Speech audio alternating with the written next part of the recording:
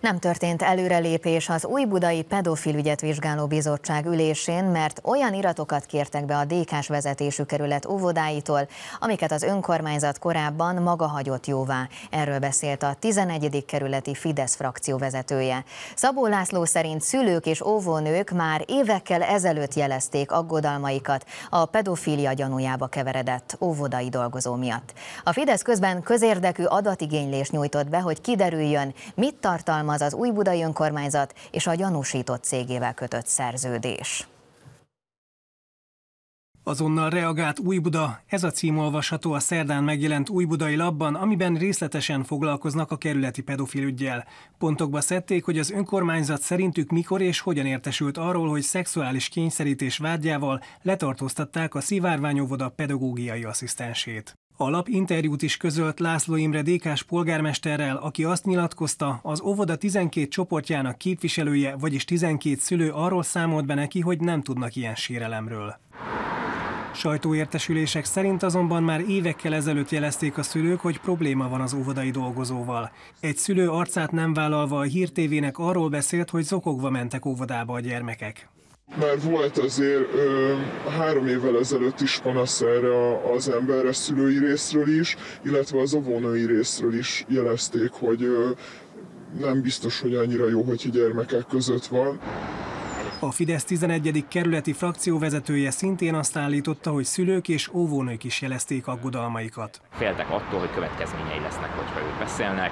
Szabó László szerint azért nem történhetett előrelépés az ügyben, mert a gyanúsított nevelőanyja humán szolgálati igazgatóként fontos pozíciót töltött be a baloldali vezetésű önkormányzatban.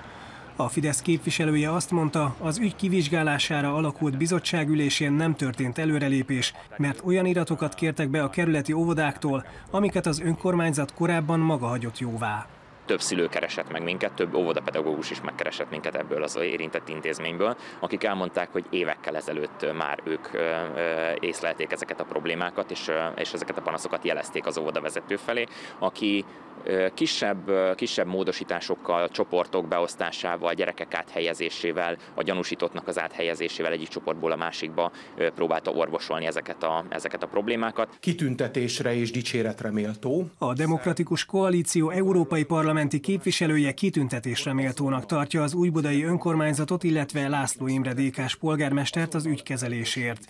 Erről egy hete beszélt Molnár Csaba, amikor bemutatták a párt gyermekvédelmi csomagját. Az kiabál a legjobb legjobban, akinek a háza ég. Az Alapjogokért Központ kutatási igazgatója a Kossuth Rádióban viszont azt mondta, a Demokratikus Koalíció európai gyermekvédelmet sürgető törekvései azt a célt szolgálják, hogy eltereljék a figyelmet az újbudai pedofilügyről. 2009-ben még Gyurcsány Ferenc miniszterelnöksége idején ő volt az a közéleti szereplő, az ő kedves felesége, aki szeretett volna egy kormányhatározatot beterjeszteni, illetve beterjesztetni annak érdekében, hogy az óvodákban, illetve a bölcsödékben kötelező kötelezővé tegyék az ott pedagógiai asszisztensként tevékenykedők számára azt, hogy minden kiskorút az úgynevezett gender ideológia sokszínűségével és elméletével megismertessenek. Polgármester úr, a gyanúsított milyen szerződésben áll az önkormányzattal? Ezt önök csak szeretnék, hogy a polgármesteri hivatal nem lépett ebbe az ügybe. Időközben kiderült, hogy a gyanúsított cégének több millió forintos tanácsadói szerződése van Újbuda önkormányzatával.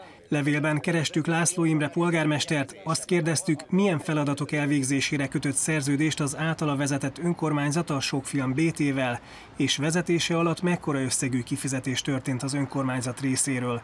Adásunkig nem kaptunk választ.